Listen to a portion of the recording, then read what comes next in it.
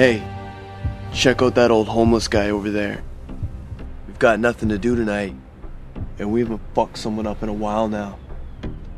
Yeah, let's do it. No one will find that bum later anyways.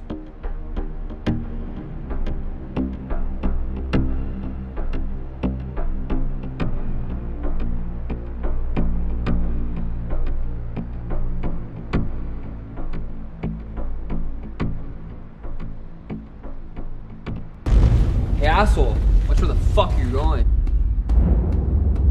Get out of the way, you stupid piece of shit. You must have fucking problems hearing, bro. I'm gonna.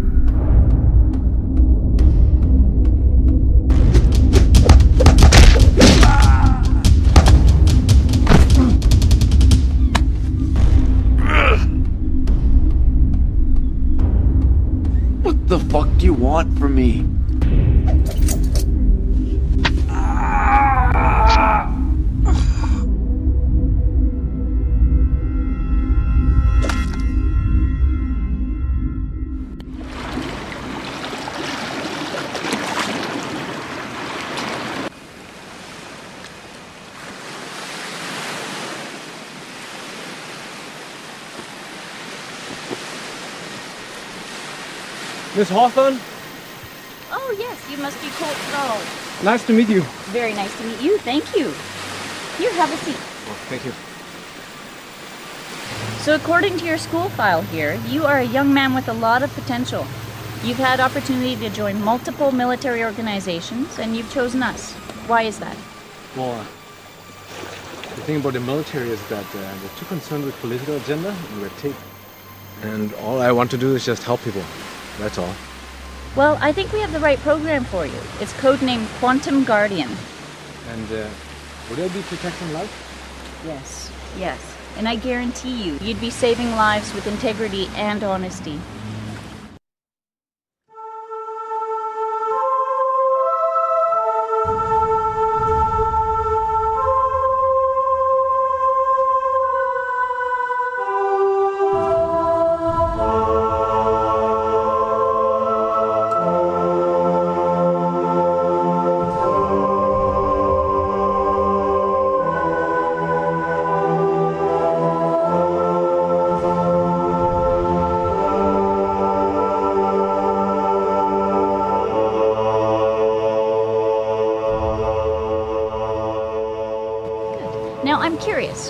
Is it that you want to help people? Um,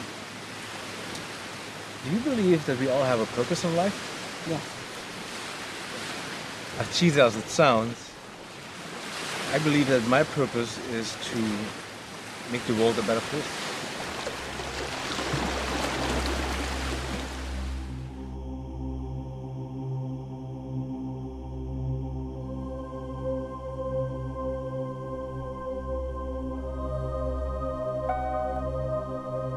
What's up, Colt? All right, they have been taken out. Victim should be home by now, or whatever back alley and bridge he would call home. All right, man. So, you remembered to drop the bandana, right? Yeah? Cops just think it's a gang crime. Now, did you see any witnesses on the satellite? Not in that alley. It's such a shitty part of town. No one wants to hang out over there. Now, were there any complications? I assume those guys aren't walking. They ain't walking. That's for sure. Having said that, everything went straight forward. None of them had a Q gene, so I saw every hit coming. Yeah. That's just great. What's the matter? You sound disappointed that it didn't get hurt. No, no, no. It, it's just been something that's been bugging me for a while. I'll tell you about it later. I'll see you in a bit, Colt. Right, see ya.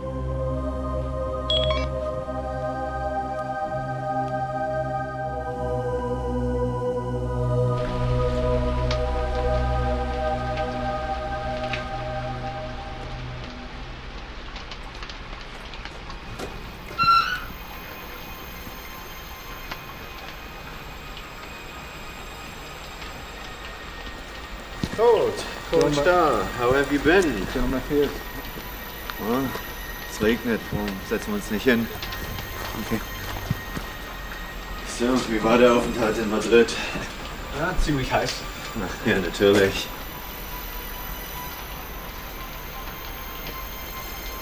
Also, hast du mit Frau Hawthorne gesprochen? Ich nehme mal an, dass die Obsidian Company dich akzeptiert hat. Ja, und sie scheint es wirklich ehrlich zu meinen. Obwohl ich glaube, dass meine Akzeptierung halt mehr mit ihrer Befehlung zu tun gehabt als irgendwas anderes.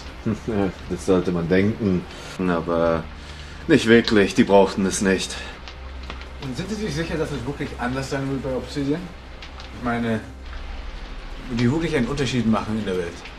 Ich versichere dir, du wirst einen Unterschied machen in der Welt und für dich. Bei Obsidian kannst du dir eine neue Zukunft aufbauen. Äh, ich weiß, du willst eine Familie gründen mit Frau und Kindern. In zehn Jahren kannst du das alles haben. Ein gutes Leben für andere und für dich.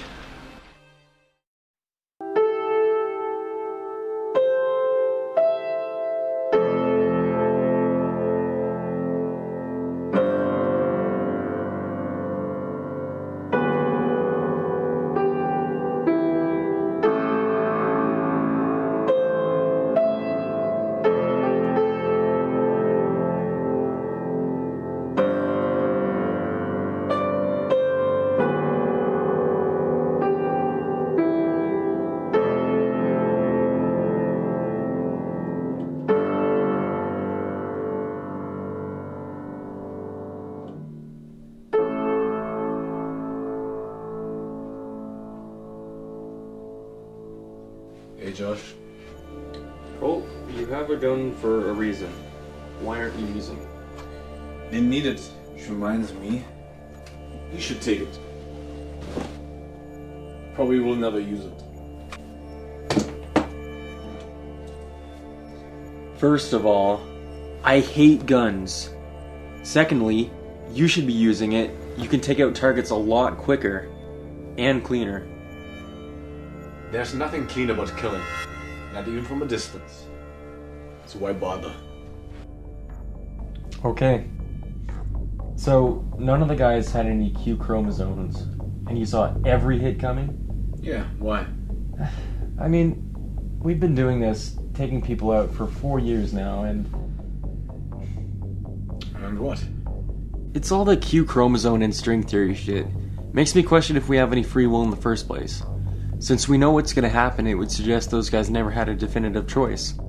And if they did have a choice, maybe they would have chosen not to commit the crime in the last minute, making perhaps a large number of our activities unnecessary. Don't worry about that stuff. It's not your problem. Yes, it is if it keeps me up at night. Look, just because I know what about to do does not mean they never had a choice. They made the choice. Which is the reason why I'm here. But what if we could have done something differently? Like what? Going to the cops? Telling them, hey, I can look into the future of a parallel timeline. And if you don't arrest these guys who haven't committed their crime yet, I'm gonna kill them. Okay, I get it. You should have seen what they would have done to that old homeless guy. They had it coming. They had it coming. You don't look so good. Are you okay? No. And mind your own business. Save your emotional talk for that girlfriend of yours. Well, I can't exactly tell her I'm a vigilante. By the way, at least I have a girlfriend. Well, women like bad boys, not monsters.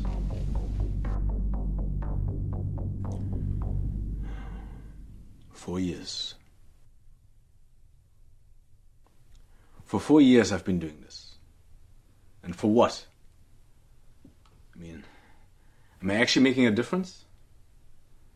You know, I always wanted to stop murders, but people still die. I always wanted to stop killers, yet a monster is still among us. What actually makes me different than them? Is it that they start trouble while I just finish it?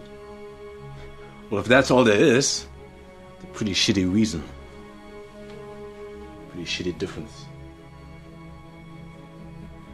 Then again, it's a pretty shitty world. And it will have to do, I guess. All I can hope for now is that if I look long enough into the darkness of my own heart, I stop blinking.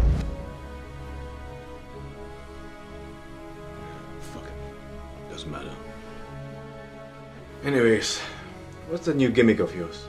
Yeah, it's a new communicator. As you know, you've been using an old modded cell phone, so we don't get traced. This solves the problem. Wait, so your new gadget is nothing more than a new cell phone plan? No, no cell phone at all. You don't mind having another chip in your brain, do you? Like I said, it's a shitty world.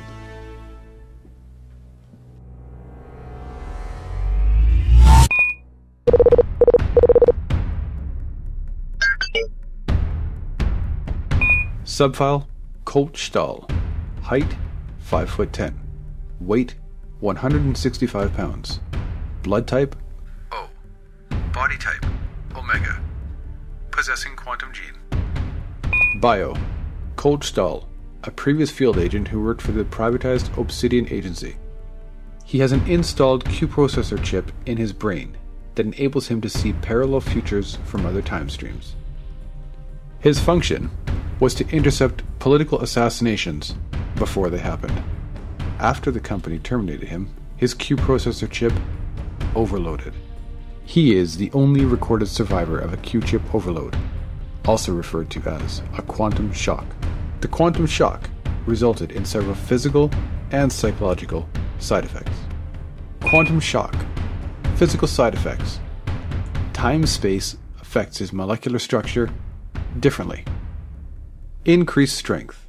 Muscle and fascia fibers are much denser, increasing his strength. Increased speed. Denser twitch muscles enable him to move at a much higher velocity. Increased durability.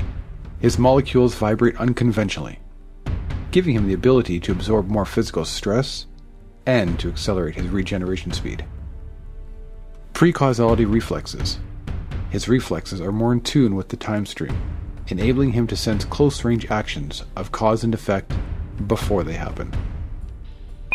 Quantum shock psychological side effects. Time space affects his mental perception differently. Psychological durability. His psychological state of mind remains stable, even though it goes through severe psychological stress. Pre causality vision. During REM sleep, he experiences future murders through the eyes and the actions of the killer. These upcoming actions are restricted to the local area that Colt is located in. Post traumatic stress. The quantum shock and the continuing precausality vision are damaging his psyche. Due to his psychological durability, the overall result is yet to be determined. Dimensional psychological damage. Severe neurological damage occurred during the quantum shock, suggesting dimensional time stream scarring. Further research is required.